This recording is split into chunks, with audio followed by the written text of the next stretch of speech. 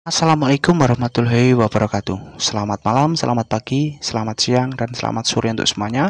Halo sahabat Sagittarius. Untuk kesempatan video kali ini Saya membuat general reading untuk kamu ya Untuk bulan Juni, Juli 2021 Dan sebelum saya mulai Bacaan saya ini bisa resonate ataupun tidak resonate Itu tergantung energi kamu karena ini general umum energi semua orang. Dan jika menurut kamu bacaan saya ini tidak cocok dengan kamu berarti ini bukan energi kamu. Anggap aja ini sebagai hiburan oke? Okay? langsung saya mulai. General reading zodiak Sagittarius Juni Juli 2021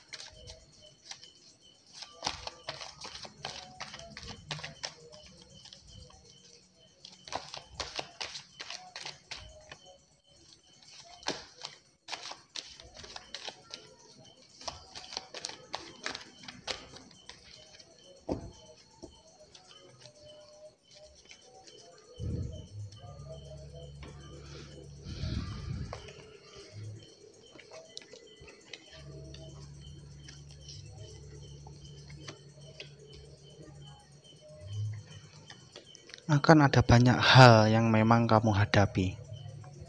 Lelah dalam perjalanan pekerjaan kamu, lelah dalam hubungan asmara kamu, ini yang saya rasakan ya, Sagittarius.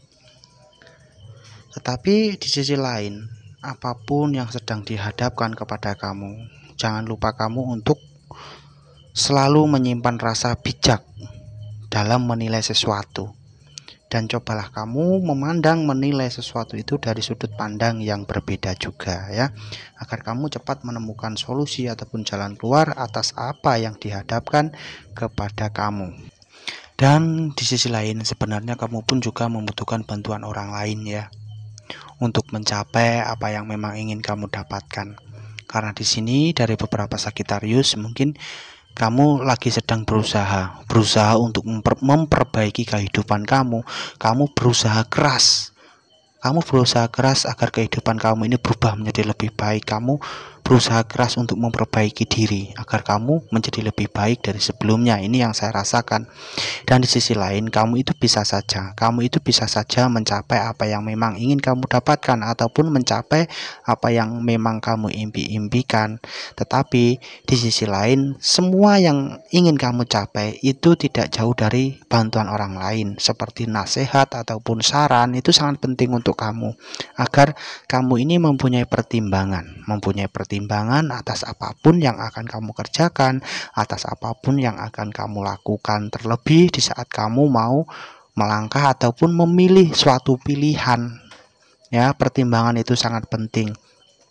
Karena terkadang jalan keluar ataupun solusi itu terkadang hadir dari nasihat ataupun saran dari orang lain yang peduli dengan kita ataupun orang-orang di sekitar kita ya. Jadi jika kamu memang merasa lelah ataupun merasa sedih, lelah, kecewa atas hal-hal yang dihadapkan kepada kamu. Jangan kamu ini menyimpan semua itu sendiri. Cobalah kamu bercerita, bercerita kepada orang yang memang kamu percayai, bercerita kepada mereka yang memang peduli dengan kamu. Siapa tahu mereka ini bisa memberi kamu saran, memberi kamu solusi atas hal-hal yang sedang kamu hadapi. Oke, Sagittarius. Dan di sisi lain, ini saya merasakan bahwa ada seseorang, ada seseorang yang memang dia ini bisa membantu kamu. Dia ini akan datang kepada kamu ataupun ada seseorang yang akan datang kepada kamu yang dia ini akan menawarkan sesuatu. Bisa jadi menawarkan dalam bidang usaha, karir ataupun bisnis kepada kamu. Nah apa pun pilihan kamu maka kamu harus mempunyai pertimbangan. Kamu harus menggunakan pertimbangan terlebih kebijaksanaan di dalam memilih sesuatu menilai sesuatu itu harus kamu gunakan ya agar apa yang kamu pilih, apa yang kamu jalani itu tidak justru membuat kamu jatuh karena terkadang karena terburu-buru ataupun karena kurangnya saran, kurangnya pertimbangan apa yang kita pilih, apa yang kita jalani terkadang itu bisa menjatuhkan kita sendiri ya. Karena di sini saya juga merasakan bahwa akan ada masanya di mana kamu akan bahagia, di mana kamu akan uh, berhasil mencapai apa yang memang ingin kamu dapatkan. Bisa jadi di dalam hubungan asmara kamu akan bahagia. Terus di dalam karir usaha kamu berhasil sukses. Ini saya rasakan. Tetapi untuk mencapai semua itu memang perjalanan kamu memang melelahkan.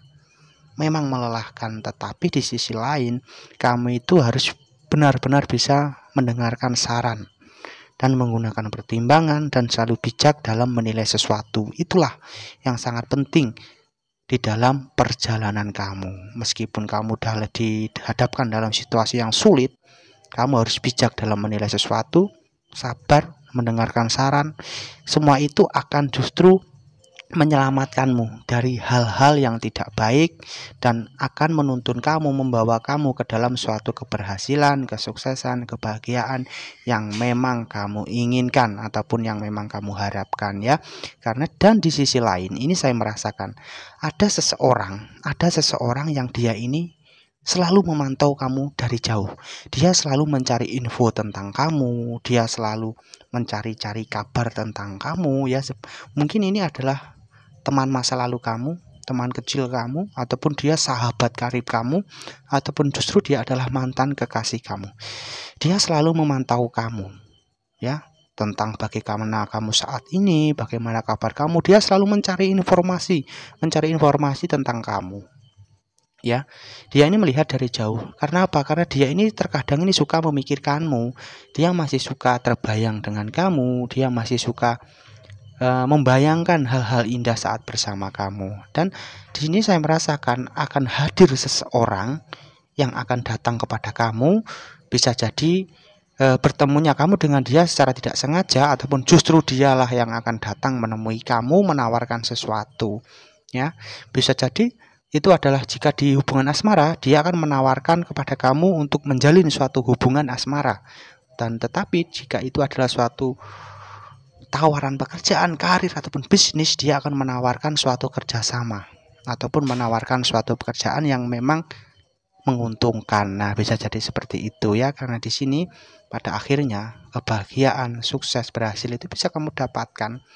Memang perjalanan kamu ini memang melelahkan, tetapi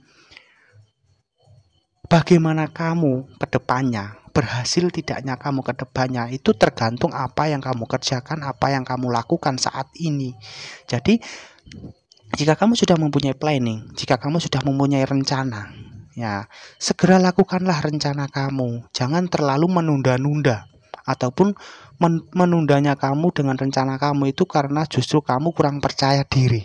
Jangan sampai karena kurangnya rasa percaya diri, tidak percaya dengan diri sendiri itu justru yang menghambat kemajuan kamu Sagittarius ya. Nah, The Empress Ace of Swords. Nah, ini adalah suatu kartu yang positif. Kartu yang positif bahwa akan ada kesempatan, akan ada tawaran, akan ada hal-hal baik. Bisa jadi pasangan, tawaran pekerjaan ini akan hadir ke depannya untuk kamu. Jadi, bagaimana kamu itu tergantung langkah kamu. Nah, dan terkadang terkadang begini kurangnya kita pertimbangan, mendengarkan saran ataupun kurangnya kita bijak dalam menilai sesuatu. Terkadang apa yang kita pilih itu tidak sesuai dengan apa yang kita pikirkan. Ya, ataupun justru apa yang kita pilih terkadang itu menjatuhkan kita jika kita kurang bijak dalam menilai sesuatu, kurang mendengarkan saran yang diberikan kita, dan kurangnya pertimbangan. Dan terlebih di saat kamu mempunyai rencana, ya, di saat kamu mempunyai rencana, jangan sampai kamu menunda-nunda rencana kamu karena hanya kurangnya rasa percaya diri ataupun karena keraguan dalam diri kamu karena kamu kurang yakin kepada diri kamu sendiri jangan sampai. Karena kurang percaya diri keraguan itu justru yang akan menghambat kemajuan kamu. Maka sangat penting saran pertimbangan bijak dalam menilai itu sangat penting agar kamu bisa terdorong terdorong untuk mencapai apa yang memang ingin kamu dapatkan ya jika kamu kurang mendengarkan saran, kurang bijak dalam menilai sesuatu, maka kamu akan merasa ragu, maka kamu akan terus-terusan merasa kurang percaya diri. Itulah yang menghambat kemajuan kamu, Sagitarius. Keberhasilan, kesuksesan itu bisa kamu dapatkan karena as of short, The Empress, jika dua kartu ini bersatu, ini menandakan suatu keberhasilan, kesejahteraan, kebahagiaan. Nah, yang akan kamu dapatkan. Tetapi sebelum kamu mencapai semua ini memang hal-hal yang melelahkan yang memang kamu lalui. Semua itu yang akan menuntun kamu, mendorong kamu untuk mencapai kebahagiaan, kesejahteraan, kedamaian, ya. Dan ini saya juga merasakan bahwa cepat atau lambat ini akan datang suatu kabar. Akan datang suatu kabar. Nah, Semoga kabar yang akan datang kepada kamu ini adalah suatu kabar yang positif, kabar yang bermakna positif, kabar baik untuk kamu, kabar yang mampu membuat hati dan pikiran kamu bahagia, ya. Karena ini saya merasakan bahwa akan ada satu kabar yang akan datang kepada kamu cepat atau lambat ya. Oke, cukup sekian dulu untuk general reading Sagittarius kali ini. Semoga video ini bisa bermanfaat dan berguna untuk kamu. Buang segi negatif, ambil segi positif agar kita termotivasi. Jangan lupa tersenyum untuk hari ini. Semoga kita semua selalu bahagia. Assalamualaikum warahmatullahi wabarakatuh.